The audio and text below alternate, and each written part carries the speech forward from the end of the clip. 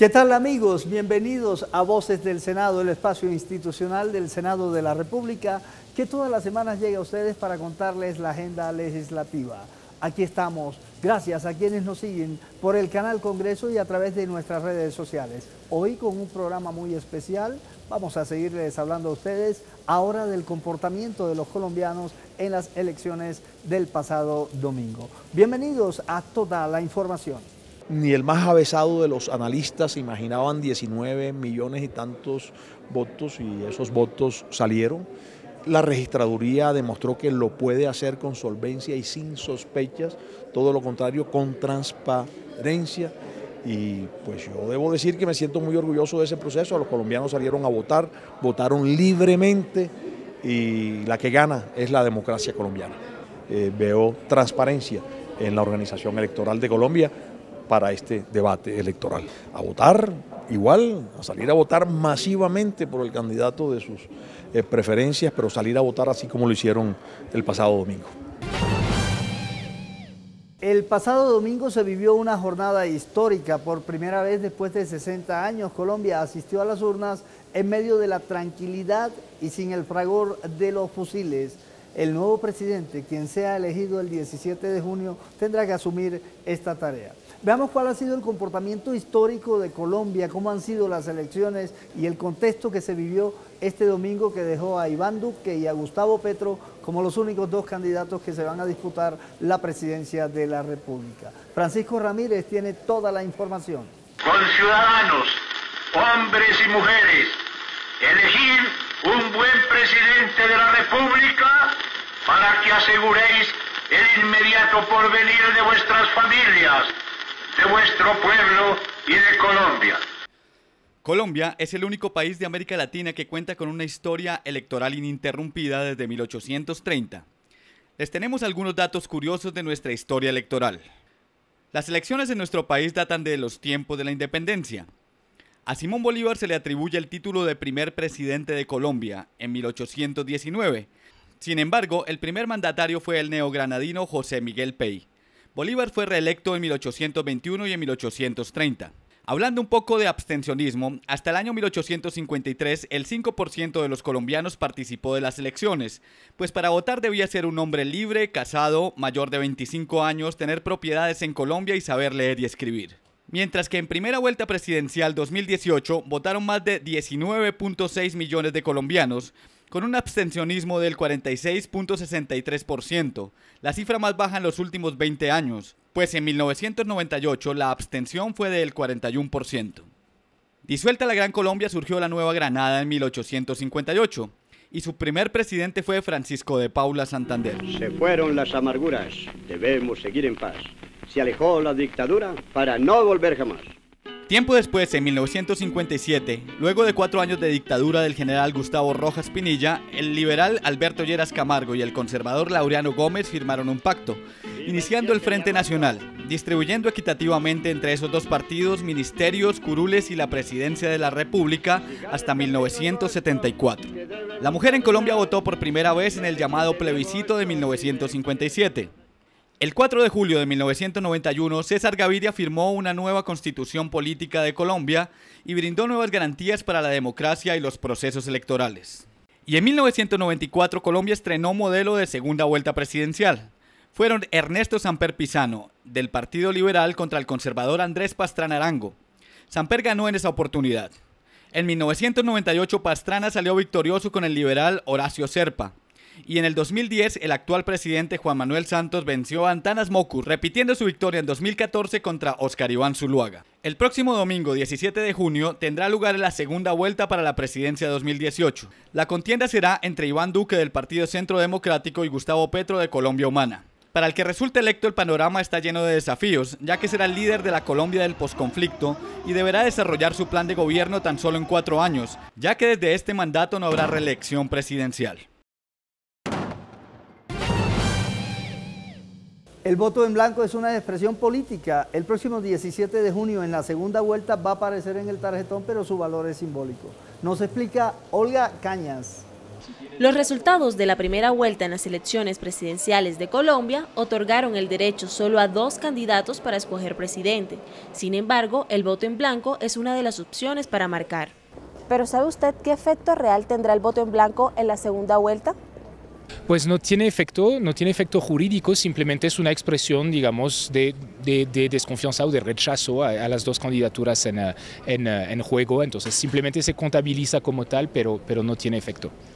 Además de sentar posición, el voto en blanco sería mejor que la abstención, pues le serviría a las personas para reclamar el certificado electoral que le otorga numerosos beneficios como un mediodía libre de su trabajo, descuentos en documentos, becas, subsidios, entre otros. El secretario general Gregorio El Hash nos explica por qué el voto en blanco tuvo validez en primera vuelta y no en la segunda. No es lo mismo votar en blanco que la abstención. La abstención significa que el posible elector está renunciando a su derecho de elegir a quienes lo van a dirigir, mientras que el que vota en blanco está señalando una posición política frente a las diferentes, candidaturas. En la segunda vuelta es porque solamente hay dos, entonces toca votar por el uno o por el otro, porque ya se surtió el proceso de primera vuelta en el que lo que se busca es escoger los dos con mayor votación. No se puede allí eh, tener una alternativa distinta a que el uno o el otro. Consecuente a ello, la sentencia C-490 de 2011 de la Corte Constitucional, el voto en blanco es una valiosa expresión con efectos políticos a través del cual se promueve la protección de la libertad del elector y como consecuencia de este reconocimiento, la Constitución le ascribe una incidencia decisiva en procesos electorales orientados a promover cargos unipersonales y de corporaciones públicas a elección popular. Las del pasado domingo, ya lo dijimos, fueron las elecciones más tranquilas, pero dejemos que sea Maribel Ramírez quien nos cuente el balance del orden público y además del comportamiento electoral en cuanto a situaciones en las urnas. Es preciso tener en cuenta la masiva participación de los colombianos para estas elecciones de presidencia, donde más de 19 millones de colombianos salieron a participar y a elegir su candidato de predilección. Esto suma aproximadamente un 54% de colombianos aptos para votar, lo cual quiere decir que sí podemos elegir un buen presidente. Sin duda alguna, el objetivo de las elecciones presidenciales fue logrado con éxito para los colombianos, ya que en esta ocasión se impuso la conciencia y disciplina, puesto que salieron a votar masivamente y asistieron a las urnas para expresar a través del voto su opinión y elección, demostrando que nuestro país ha crecido en cultura y democracia. El balance es muy positivo para todas las autoridades, para la registraduría, para todo el Estado colombiano y, lógico, para los colombianos. Creo que cada vez los colombianos en general tomamos más conciencia de lo importante que es participar, de lo importante que es votar, de lo importante que es elegir a los mejores eh, mandatarios, pero también de comportarnos bien. Por primera vez Colombia tiene unas elecciones pasivas y admirables para los ojos nacionales e internacionales, con elogios y maravillados del buen juicio que las caracterizó. No tuvimos problemas, no tuvimos congestiones, ninguna situación de orden público. O sea, qué elecciones tan espectaculares y en paz. Ya lo habíamos visto en Congreso que hemos podido funcionar todos los puestos de votación con, sin ningún problema de orden público. El presidente pasó lo mismo y estas elecciones de presidente, verdad que son, son demostrar. El éxito obtenido en las pasadas elecciones a presidencia y al Congreso de la República obedeció a un minucioso y articulado trabajo llevado a cabo por las entidades interinstitucionales que intervinieron en el proceso. Bueno, eh, prepararnos mucho, igual que hicimos para las elecciones de Congreso, donde hicimos muchos simulacros. Ustedes ven que en las elecciones de Congreso tuvimos dos consultas interpartidistas que se transmitió muy rápido la información y por primera vez dimos unos resultados de Senado y Cámara tan rápidos. Fue similar la estrategia a la que recurrió la Policía Nacional, obteniendo con ello un excelente resultado con mínimos índices de afectaciones. Tenemos una importante estadística en temas eh, de orden público. Nosotros eh, venimos llevando la, eh, la, estadística de los índices delictivos desde el año, haciendo un comparativo del año 2010 2014, 2018, en el 2010 tuvimos una afectación de orden público, 20 en total. el 2014 se presentaron 10 afectaciones y en el presente año no tuvimos ninguna afectación de orden público. En segundos regresamos con ustedes. Quédense con estos mensajes institucionales. Yo me desplacé en el 2003. Nadie creíamos que esto iba a ser así tan bueno como se presentó. Significa una alegría muy grande porque sinceramente nosotros no creíamos volver a la tierra. Yo siento un gran alivio porque para mí no es la ciudad, para mí es el campo. Y entonces ya volvimos a encontrar ganadito, como ustedes lo ven, pues, de que... Y gracias a Dios ahí estamos trabajando y hemos salido muy adelante, gracias a Dios, y le hemos cuidado el estudio a los hijos. Estoy muy contento en la finca y trabajando. Si la unidad de oficio de tierra no, no existiera, no estaríamos acá en este momento. Yo tengo 5.000 árboles de café. Cuando no está produciendo el café, está poniendo el, el ganadito, entonces yo he sido un tipo muy emprendedor para salir adelante. Llevo la lechita y la señora de los quesitos y los vendemos a los vecinos.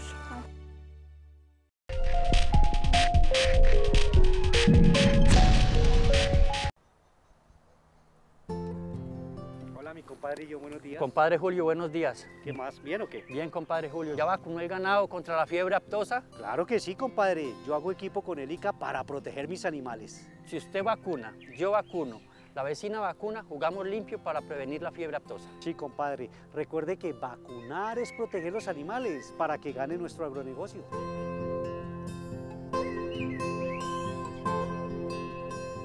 Todos unidos contra la aftosa. ICA y Ministerio de Agricultura y Desarrollo Rural.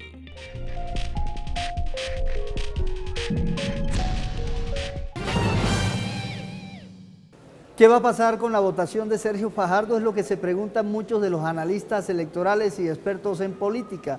Janet Espitia habló con algunos de ellos para dónde coge esa votación. La tercera votación más alta de las pasadas elecciones la obtuvo Sergio Fajardo con 4.589.696 votos, lo que equivale al 23,73% del total de los sufragios.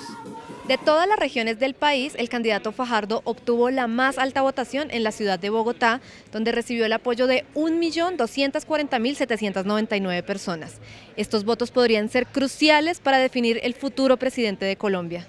Según dicen los expertos en temas políticos, el panorama no es muy claro respecto a cuál será el rumbo de estos votos, pues la polarización predomina para esta segunda vuelta electoral. Con esto creo que va a ser un voto extremadamente fragmentado, eh, que se va a ir una minoría por Duque, un poco por el temor que genera Petro, un gran porcentaje por voto en blanco no votar, y un porcentaje importante, especialmente de la gente del pueblo que desea apoyar a Fajardo, pues que se irá por, por Petro un poco por filiación partidista. Bueno, eso es la, la clave de, de, esta segunda vuelta y la verdad es que es muy difícil saberlo, es imposible saberlo en realidad porque es un electorado urbano de clase media, más bien educado y, y que por, por sus características no tiene dueño, entonces no sabemos muy bien cómo se va a comportar este electorado, se va a comportar con mucha independencia seguramente y lo más probable entonces es que se va a dividir entre uh, apoyo a Duque, apoyo a Petro y, uh, y abstención o, o, voto blanco, pero en qué por, eh, proporción esto es, es imposible saber. De hecho, las redes sociales han evidenciado la diversidad de opiniones existentes entre los colombianos que depositaron su confianza en el candidato de centro, pues mientras unos piden coherencia invitando a votar por el candidato de izquierda, otros argumentan que prefieren volver al mandato tradicional de derecha que por tantos años ha gobernado en Colombia. Pues generalizar redes sociales es, es complejo, yo creo que hay hoy suficientes filtros, digamos, la gente tiene suficiente criterio para, creo yo, diferenciar, por ejemplo, entre noticias falsas e informaciones comprobadas. Yo no creo que toda información que circule sea manipulada o, o, u obedezca a propósitos inconfesables, pero creo, creo, que la gente tiene que ser muy cuidadosa con lo que circula en redes, especialmente porque quedaron, insisto, las dos campañas que estaban como en los, en los extremos. Eso habla de una campaña que será muy radical, eh, muy beligerante y maniquea. Entonces uno lo que, pues, lo que uno prevé es que probablemente las redes sean un escenario de esa, de esa polarización. La gente pues tendrá que evitar un poco caer como en esas provocaciones. En las últimas horas el ex candidato anunció que su voto será en blanco, pues ninguna de las dos opciones representa sus ideales. Con este anuncio dejó a sus electores en libertad de escuchar las propuestas y votar por el candidato de su preferencia para la segunda vuelta. La Registraduría Nacional del Estado Civil jugó un papel muy importante en estas elecciones. Andrea Hernández nos cuenta. La registraduría instaló 96.663 mesas en 11.233 puestos de votación en el país y en el extranjero, cada mesa con jurados y claveros capacitados para garantizar transparencia en las elecciones. Además, puso a la disposición del ciudadano diferentes mecanismos de información pueden eh, bajar dos aplicaciones y lo tienen que hacer.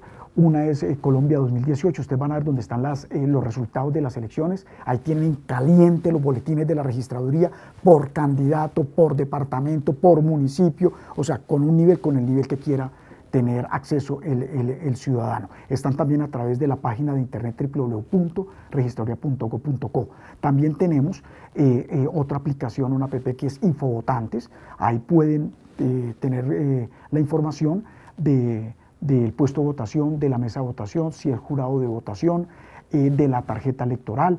La registraduría se pronunció sobre las denuncias realizadas por la ciudadanía en redes sociales ante el supuesto fraude del formulario E14 en las pasadas elecciones del 27 de mayo.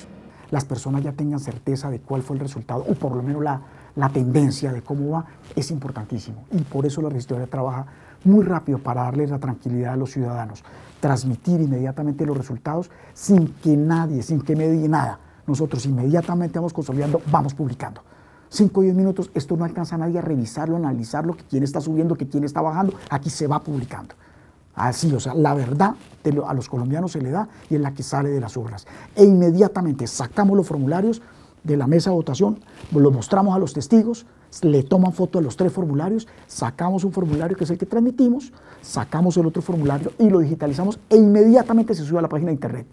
El código electoral contempla que si amerita se puede tachar o corregir el formulario E14 y que los encargados de verificar son los jueces de las comisiones escrutadoras. Todo está publicado en la página de internet de la registraduría, el proceso es transparente, el proceso es abierto a todo el mundo, tenemos auditores de las campañas trabajando con nosotros, tenemos, vamos a tener eh, nuevamente la misión de observación electoral de diferentes países presenciando todos los procesos y las, y las elecciones. Tenemos ya eh, testigos acreditados por las campañas. Acá la invitación es a tener testigos en todas las mesas. Desde el 27 de mayo, las diferentes campañas han tenido la posibilidad de examinar y descargar los formularios por medio de un servidor exclusivo proporcionado por la registraduría. Las redes sociales están jugando un papel muy importante a nivel de elecciones en todo el mundo. Colombia no es la excepción. ¿Cuál fue ese papel que jugaron las redes sociales y el papel de los partidos políticos cuál va a ser en la jornada electoral? Nos los explica Carlos Villota. La jornada electoral del pasado 27 de mayo en Colombia dejó en la agenda pública a las redes sociales, un actor de las campañas a la presidencia que será definitiva en la segunda vuelta ese es el sentir de las distintas bancadas con asiento en el Congreso. Bueno, me parece que esa masiva participación de los colombianos lo que indica es que hoy más que nunca hay un interés por eh, definir cuál será el futuro, cuál será el derrotero eh, que habrá de seguir el próximo presidente de los colombianos. Bueno, las redes sociales son una herramienta de información muy grande para cualquier sociedad y en este caso para la democracia. Pero desafortunadamente las redes sociales em, han venido llenándose de, información falsa, de montajes, de amenazas y toda una cantidad de situaciones que desafortunadamente no han sido reguladas en Colombia. En el mundo entero las redes son incontrolables y han conducido la democracia hacia unas decisiones más emocionales que racionales. Lo que se transmite en las redes son cadenas de odio, de rabia, de miedos, de fake news, de noticias falsas, y eso va construyendo una realidad virtual. Si bien usar las redes sociales se convirtió en un referente para comunicar qué se hace y qué se dice en campaña, la posverdad o noticias falsas se abre paso como una amenaza para el ejercicio del voto y la estabilidad de la democracia. Todos los ciudadanos eh, que están utilizando las redes sociales verifiquen bien la información y recojan lo mejor para su formación, para la convivencia ciudadana, para opinar, para decidir, pero decidir definitivamente en verdad y en democracia como lo requiere Colombia hoy. Hoy a nadie le importa lo que digan los partidos, sino lo que esas corrientes de opinión emocionales expresen. Si la democracia no reconstruye sus partidos, si la democracia representativa no sobrevive, lo que sigue es el caudillismo, el despotismo, las dictaduras de izquierda o de derecha. Hoy las redes sociales son un jugador principal y por momentos independiente que invita a los partidos a su modernización bajo el lenguaje de las nuevas audiencias o democracia digital. Las redes sociales hoy son una gran herramienta para que eh, los gobiernos conozcan cuáles son las propuestas, las inquietudes, cuáles son las dificultades que se están viviendo en la región. Tenemos que generar una serie de acciones frente a la información falsa que está generando, eso definitivamente no, no ayuda a educar y a formar una opinión eh, seria y responsable. Hay que reformular los partidos en el mundo y en Colombia para que pueda la democracia representativa sobrevivir. Sin partidos políticos, estos u otros nuevos, no hay democracia representativa. Una campaña política es la administración del caos es el caso de la carrera presidencial en Colombia. Las redes sociales serán protagonistas en la segunda vuelta. Una oportunidad para mejorar los contenidos, el diálogo ciudadano y visibilizar las propuestas de los candidatos a la luz de la comunicación política. ¿Cuál fue el comportamiento de los colombianos que votaron en el exterior? ¿Cuáles fueron esos resultados? María Camila Fernández. En los comicios del 27 de mayo se encontraban habilitados para votar en el exterior 1.376.071 colombianos, de los cuales solo 275.290 ejercieron su derecho al voto. La Cancillería, por su parte, reportó que se inscribieron para votar en el exterior 819.398 colombianos, un 39% más que en las elecciones presidenciales del 2014. La jornada electoral en el exterior del país transcurrió sin ningún problema con la participación del 19,96% de colombianos habilitados para votar por fuera del país. Los resultados estuvieron repartidos entre los candidatos Gustavo Petro, Iván Duque y Sergio Fajardo. De acuerdo con los datos de la Estatal Registraduría Nacional del Estado Civil, Iván Duque fue el candidato con más sufragios entre los colombianos en el exterior con 141.840 votos seguido por el centroizquierdista Sergio Fajardo, quien obtuvo 70.246 votos, dejando en un tercer lugar al candidato Gustavo Petro con 32.981 votos. Por otro lado, el oficialista Germán Vargas Lleras acumuló 9.776 votos en el extranjero y el liberal y ex jefe negociador de la paz con las FARC, Humberto de la Calle, 4.034 sufragios. Según los resultados en el exterior del país, el candidato Iván Duque ganó en Canadá, España, Estados Unidos, Inglaterra e Italia, entre otros. Sergio Fajardo lo superó en Alemania, Argentina, Brasil, Chile, Francia y Portugal, mientras que el candidato Gustavo Petro quedó como ganador en Rusia. Las pasadas elecciones presidenciales arrojaron que el próximo mandatario será elegido en segunda vuelta entre los candidatos Iván Duque y Gustavo Petro. El segundo ciclo electoral en el exterior del país se llevará a cabo del 11 de junio al 17 de junio. Quédense con estos mensajes institucionales. Ya regresamos, esto es Voces del Senado.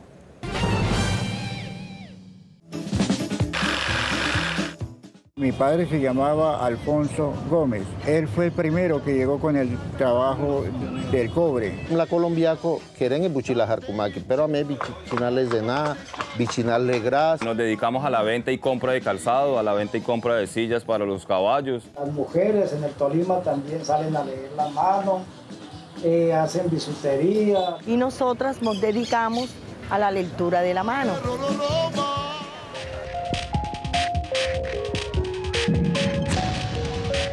Póngale el ojo a sus animales si presentan saliva en exceso, fiebre o ampollas en las pezuñas, ubre o cavidad oral, notifique de inmediato al ICA o a la UMATA de su municipio. Todos unidos contra la aftosa. ICA y Ministerio de Agricultura y Desarrollo Rural.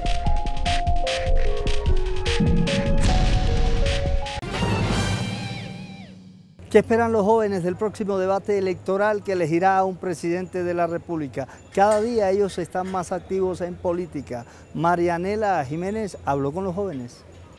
Por primera vez, los jóvenes del país entienden el significado de las historias de sus padres cuando hablaban de los rojos y los azules, que estaban relacionados con dos pensamientos políticos contrarios, como lo representan hoy los dos candidatos que lucharán por la presidencia de Colombia en la segunda vuelta. Consultamos a varios jóvenes sobre sus expectativas para esta segunda vuelta electoral y esto fue lo que nos dijeron. Sí, creación de empresas, creación de oportunidades para la gente, que todo el mundo tenga su trabajo. Las personas cuando tienen trabajo eh, no están pensando en hacer mal a la sociedad. Espero que los presidentes o pues cualquiera de los dos que quede, que cumpla con lo que está proponiendo que nos ayude para una buena educación, para una buena salud, porque nosotros los jóvenes nos merecemos eso. Yo espero que mm, la gente tome más conciencia y por favor como que sean lean y se instruyan más delante de qué candidatos realmente van a votar. Más que futuro, los jóvenes son presente. Con su participación pueden castigar en las urnas cualquier abuso de poder, hechos de corrupción, cambiar el rumbo del país y transformar esa realidad que con tanta razón critican. A pesar de ser el grupo de la población colombiana que más se abstiene de participar en las urnas, los jóvenes han venido demostrando su interés en la elección de un nuevo candidato que los represente y les brinde todas las garantías. Pienso que somos los actores principales en esta segunda vuelta porque somos los que vamos a determinar el futuro del país. Si nosotros tenemos en nuestras manos el poder de cambiar este país que los jóvenes incluyan en sus agendas el compromiso político, el activismo electoral, es la más sana y conveniente de las opciones para la democracia. En Colombia hay organizaciones que fomentan la cultura rural. Francisco Ramírez estuvo con una de estas organizaciones que trabaja por la cultura en el campo. Estuvimos con Alexandra Peña, gerente de proyectos de la Fundación Dialecta que se dedica a desarrollar procesos artísticos en zonas rurales de Colombia. Alexandra, bienvenida a Voces del Senado. Muchas gracias, Francisco, por la invitación. Mm, cuéntanos un poco en qué van tus proyectos, Dialecta, cómo va funcionando. ¿Qué es Dialecta, primero que todo? Eh, bueno, Dialecta es una ONG, es una entidad sin ánimo de lucro colombiana que lleva trabajando cerca de siete años y trabajamos con procesos de formación artística en zonas rurales Cuéntanos un poco más de Siembra Fest. El ejercicio nuestro consiste en llevar una selección de las mejores películas colombianas que se producen año a año en el país a estas zonas rurales. Conectamos a los directores, a los productores, a la gente que hace parte de la industria con el público rural. Nos interesa, ¿por qué? Porque cuando generamos esos diálogos, tanto la industria se nutre, porque sabe qué piensa su público rural, qué quiere ver, qué no le gusta, qué le gusta, cuáles son sus preferencias, como el público eh, también se nutre, porque finalmente cuando tienes el contacto con alguien que hizo la película, como que el círculo se completa y es una experiencia mágica. ¿Cuál es el impacto que se puede ocasionar en una comunidad rural? Para este año, que el Siembra Fest se va a desarrollar en tres municipios de manera simultánea, estamos esperando una, asistencia más o menos de 4.000 personas. Eh, se hacen procesos de formación para aprender a hacer cortometrajes eh, con bajos recursos.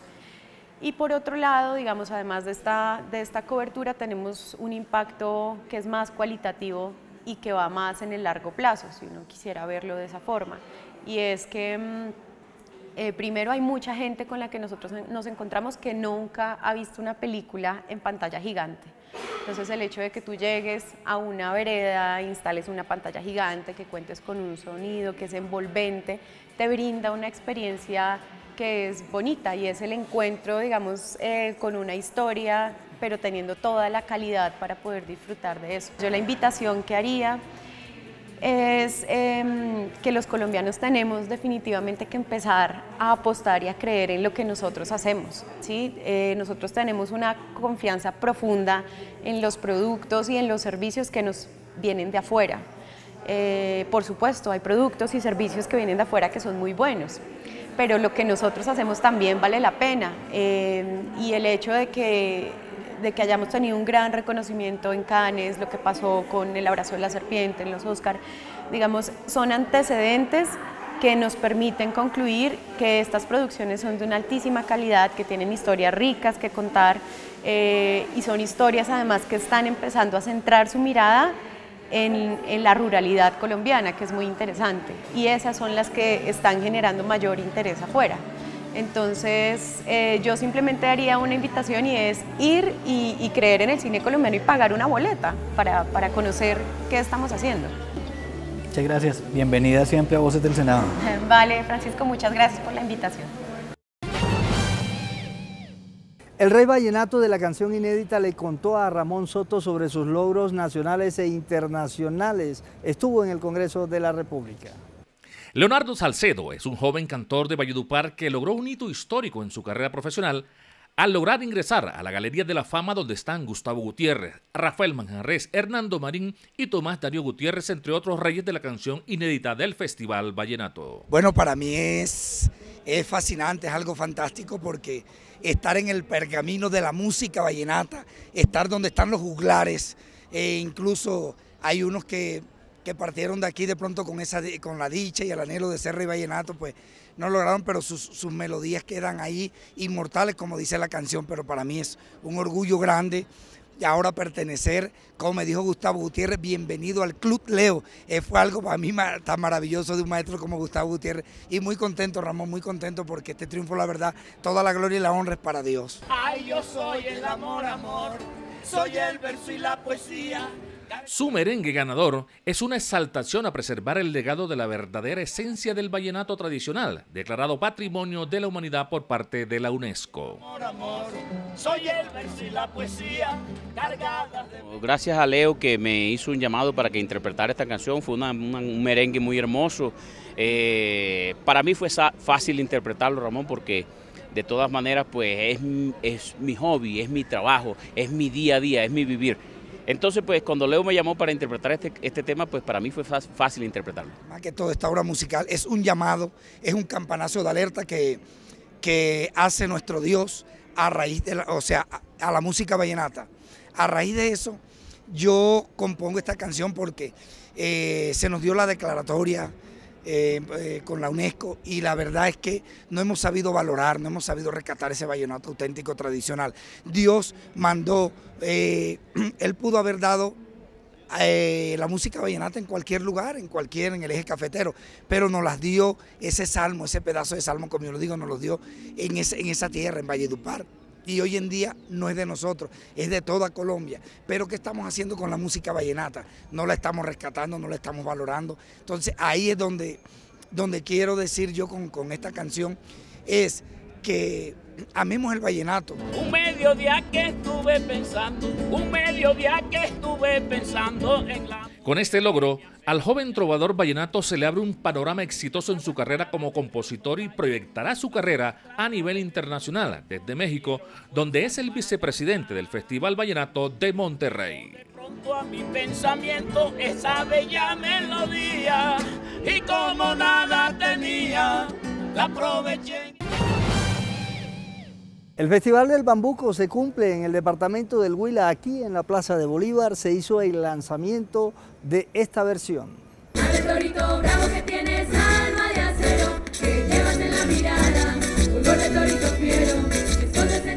Al ritmo de la guitarra que lleva el golpe típico del bambuco acompañada del tiple y sus cuerdas metálicas, reinas, danzas y colores llenaron la Plaza de Bolívar de la capital del país con un aire dulce y acariciante.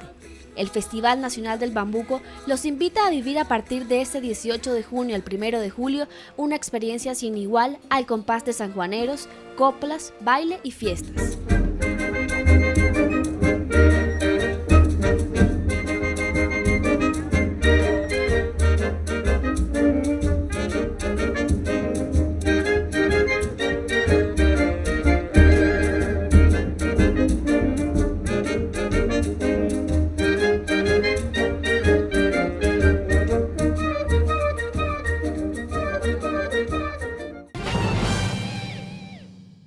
Con esta nota nos despedimos por hoy. La próxima semana estaremos con ustedes nuevamente en Voces del Senado.